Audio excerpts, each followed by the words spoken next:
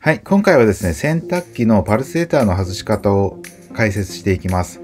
それでですね、ネジが硬くて外れない場合の対処方法と、ネジは外れても、あの、パルセーター自体が持ち上がらない。そんな時の、えー対処方法を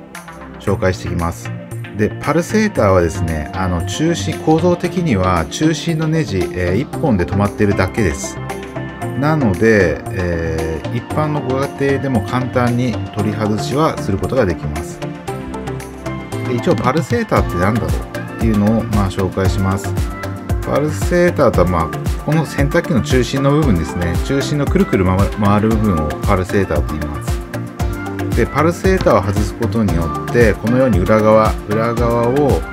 あの直接掃除することができるので、まあ、洗濯機の中から匂いがするしてきてしまった場合など、まあ、そんな時に取り外して、えー掃除をしてみるといいと思います。はいじゃあ本題ですけどパルセーターの外し方をここから解説します。でパルセーターなんですけどまあ2パターンあってもう中心のネジがもう最初から見えているパターンとネジの上にカバーがついているパターンがあります。それでカバーがついてるパターンなんですけどこのカバーっていうのはマイナスドライバーとか、まあ、先尖ったものでこうなんつうんですかね爪でこのように止まってるだけなのでそこに引っ掛けて上に持ち上げれば簡単に取れます。でパルセーターの中心のネジが外れない。これ自分も洗濯機かなり、えーの台数分解したしてきたんですけどもたまに、えー中心のネジが回らない場合があります。で回らないケースっていうのが、えーよくあるよくあるというか自分のあったケースでは前にまあ使用していたオーナーとかが、えーパルセーターの取り外しを行ってまあ、えーネジのサイズに合わないドライバーなど使ったのかちょっとわかんないんですけどもネジ山が潰れていた。もうネジ山が潰れているとそこそこ強いえ力であの中心のネジってしまってるのであの外れなくなります。それとですねまあ古い洗濯機とかでネジの中心洗濯槽のね軸中心の軸の部分とまあサビなんですかね。なんかそこら辺が固まってまあ硬くて取れなくなっちゃうケースがあります。それでですねもうネジ山が潰れてしまった場合っていうのはちょっと取り外すのは結構厳しいですね、まあ、ネジ山を作るっていう何かもしかしたら市販で売られているものもあるかもしれないんですけどまあ自分はもう完全に潰れちゃってる場合は諦めちゃいます。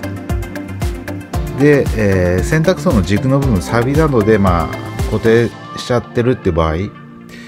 で一応自分のやったケースっていうのがあの油えーっと556とかなんかあの潤滑油あのネジのサビでも外す。まあそれをやると若干外れやすくなる気もしますがまあ実際それで外れてるのかはちょっとわかんないです。まあ一応ダメ元で、えーそういう油を入れて556なら油を入れてやってみるのはありかもしれないです。それであのパルセーターを取り外す際なんですけど、えーパルセーターってプラスのネジで止まってるんですけどネジ山の大きさは、えーほとんどのパルセーターが3番を使ってます。この画像この画像が一応3番でネジ山に合わせてる画像です。ちょっとぴったりきます。で2番2番でも回ることは回るんですけどあの硬いあのーネジ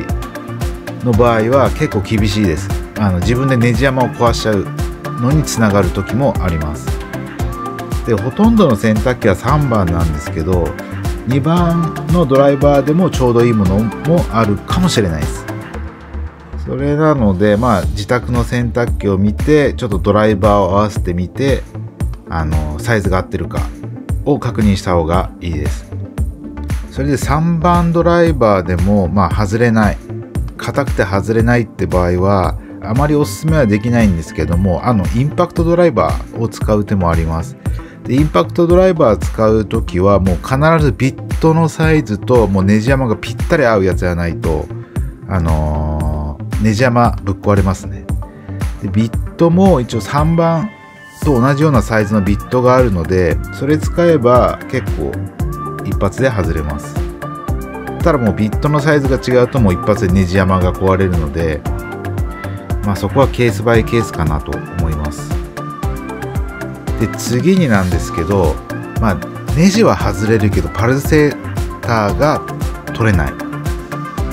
そんな場合っていうのは、まあ、先ほども言ったんですけどパルセーターと洗濯槽の軸の部分がサビや汚れなどで固まっている。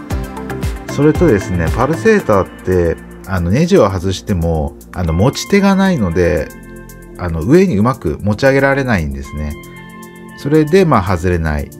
ていうのと、まあ、1と2両方原因っていうのもあります。で、ネジは取れるけど、パルセーターが取れない場合の対処方法なんですけど、まあこれ例なんですけども、このような、あのー、ネジを、パルセーターの小さい穴に入れてあげます。で、それで持ち手を作ってあげて、上に引き上げると、すごい簡単に外れます。で、まあ注意点としては、この、あの差し込むネジの穴とあのネジのサイズを考えないとそのネジだけ太いものを使っちゃうとあの何ていうんですかねパルセーターに傷がついてしまうついてしまいます。そこだけまあ注意するっていうことと引っ掛けるだけのために、えー、入れるネジなのでそんな奥まで入れる必要はないです。でネジを差し込んであげたらまあ上に持ち上げればいいんですけどこれでもうまく持ち上がらない場合がよくあります。そんな場合はですね、あの、パルセーターをこう左右にカタカタカタカタとか揺らしながら、角度を変えながら上に持ち上げてやると、あのー、持ち上がるポイントっていうか、場所があるんですよね。こう、カタカタカタカタってやりながら上に上げる感じですね。で、それでもビクともしない場合、ビクともしない場合っていうのはですね、もう根気よくこう、もう揺らしながら上に上げたり、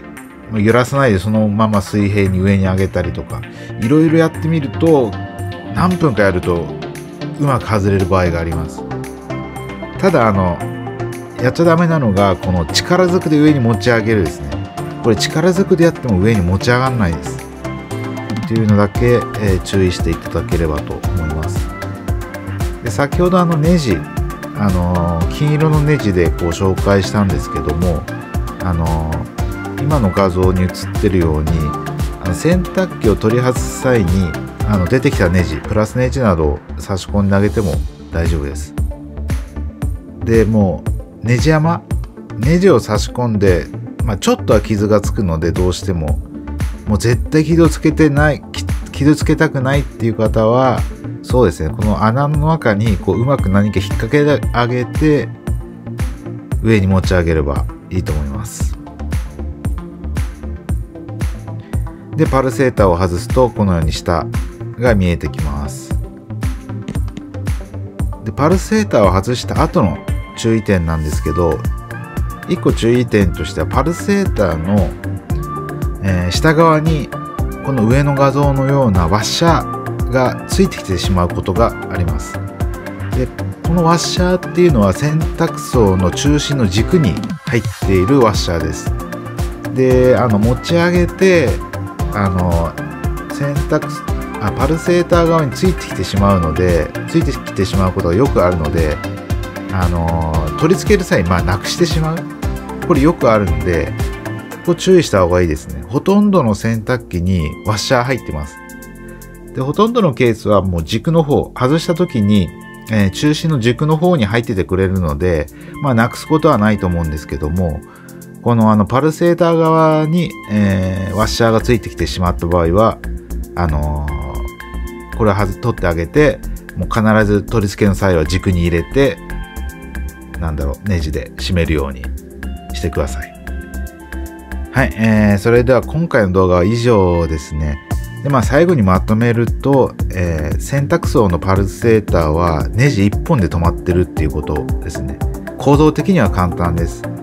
ただの中心が固まってしまったりあの持ち手がないのであの持ち上がらないまあそんな感じですねで持ち手を作るのにはまあネジを入れてカタカタ上に持ち上げると取りやすい。まあそのような感じになります。はい、今回の動画は以上となります。えー、ご視聴いただきありがとうございました。